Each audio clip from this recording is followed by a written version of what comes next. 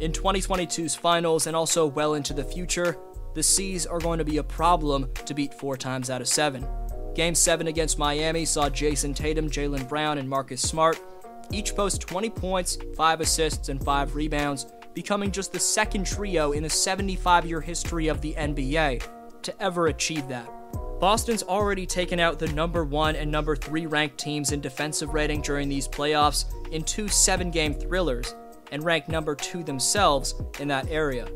Battle tested after going through a stacked Eastern Conference and taking out the likes of Kevin Durant, Giannis Antetokounmpo, and Jimmy Butler, the Celtics don't make things easy on themselves with slow starts and lackadaisical turnovers at times, but one thing's for sure they're more than equipped to make things interesting against Stephen Curry and the Dubs.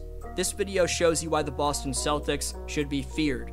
Before continuing, only 10.8% of you watching right now are subscribed, so if you haven't already, please subscribe and hit the bell so you don't miss a single upload. Also, please drop a thumbs up. It takes a few seconds and makes a massive difference in YouTube's algorithm. You can follow me on Instagram and Twitter at DFlowHoops, and I'll follow you back. Link is down below in the description for those two platforms.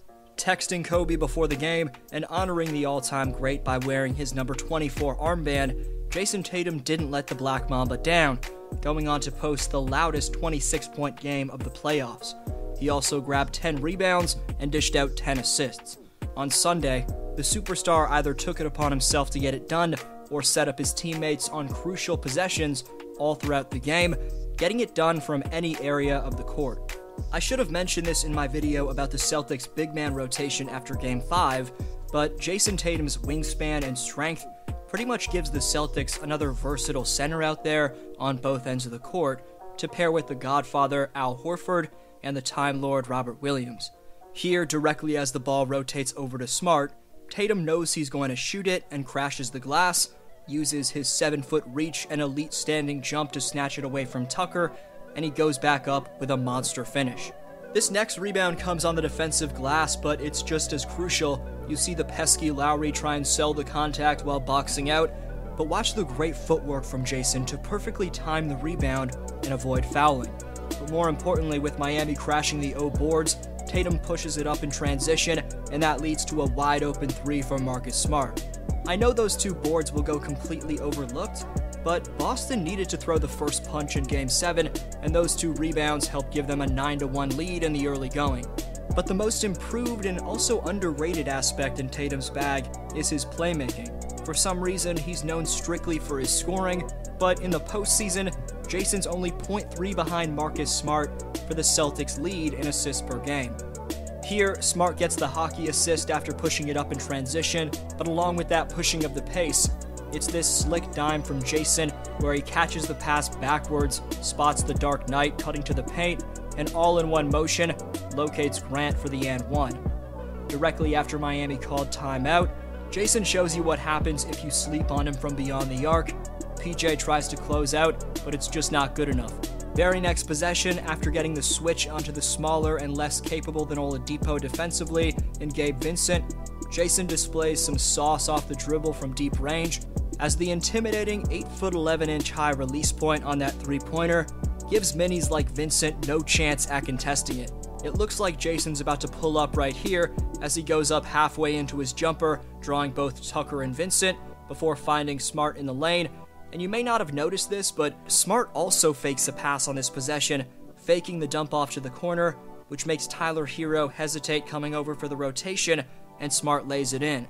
Improvisational offense that these Boston attackers have lived off. When it was all said and done, Boston's top duo of the Jays had put the abundance of playoff experience they've already gained to good use. Jayson Tatum's now 4 and 1 in game 7s, while Jaylen Brown's 5 and 1. After an incredibly poor start to this season, there were questions of whether or not Brown and Tatum could play together on the wing as trade rumors began to arise. Putting things into perspective, the Celtics were 11th in the East back in January. They're now in the finals, the greatest in season turnaround in NBA history, which is proven by the fact that Boston had the greatest second half of the season record for a team below 500 at the midway point of all time. Boston has now eliminated each of the three teams that have taken them out in the playoffs in the last three consecutive seasons. Brooklyn beat them in 2021's first round, but the Celtics got their sweet revenge in this year's first round. Miami beat the C's in the bubble, and the Heat were just taken out by Boston in the conference finals. And after Milwaukee beat them back in 2019's East semis, Boston took the Bucks out in 7 in this year's second round. I've seen some people disrespectfully calling the Celtics' path to the finals a walk in the park, saying the Nets were missing Ben Simmons, the Bucks were missing Middleton, and the Heat's top players were all banged up. I know those things are true, but what people with those opinions are forgetting is in round 1 against Brooklyn, the team's best rim protector and big man defender Robert Williams missed 2 games. Against the Milwaukee Bucks in the second round, the DPOY in Smart missed a game, and Robert Williams missed more than half the series in that Bucks series. You also can't forget Derrick White, Al Horford, and again Rob Williams each missed one game in the conference finals against Miami. So it's completely unfair to say that Boston's gotten lucky here and taken advantage of other teams' injuries. The scariest part about this Celtics team is their potential. Tatum and Brown have a long way to go in their development. The team as a whole can easily clean up their turnover issue and slow starts with a tad more focus and pressure on their passes. Point is, as constructed, with all their imperfections, which are easily correctable mistakes, as I said, that'll come with time, Boston's intuitive shot creators and athleticism, both offensively and defensively, that alone got them through the Eastern Conference. Looking back on it, and that up and coming Tatum and Brown combo has gotten the team to four conference finals appearances in six seasons. In one of those six seasons, Brown was injured, and in another, Kyrie threw a pity party for himself. It's great to see the likable former All Star and Big Al Horford reach the finals for the first time in 15 seasons. What a robbery the Kemba Walker trade was, as re adding the Godfather has given Boston such an important floor spacing and defensive presence. A bona fide superstar and top 5 player in Jayson Tatum became one of four players in NBA history to reach the NBA Finals while averaging 25 5 and 5 before turning the age of 25. The other three are all time great champions in the modern era in Kobe Bryant, LeBron James, and Dwyane Wade. I'll have my series preview tomorrow, but during the regular season, the Warriors and Celtics were tied for the best defensive rating in basketball at 106.9, so this is probably going to be at least a six game war. Speaking of wars, Boston just had one with the Miami Heat, who came up one three pointer away from playing into June.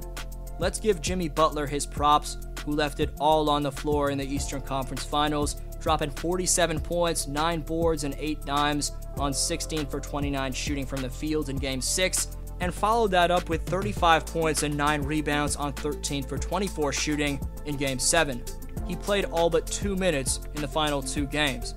But even after taking out the feisty Jimmy Butler and a series before that taking down the most dominant force in the league in Giannis, there's zero complacency being displayed from Boston. Post game, Coach Ime Udoka had an outstanding point, saying, We don't celebrate Eastern Conference championships in the Celtics organization. In your opinion, what should be Boston's main game plan in the finals? Best answer down below in the comments gets next video shoutout. Top 5 commenters by June 21st receive free NBA merchandise this summer, so leave your take on today's question to compete Community Speaks.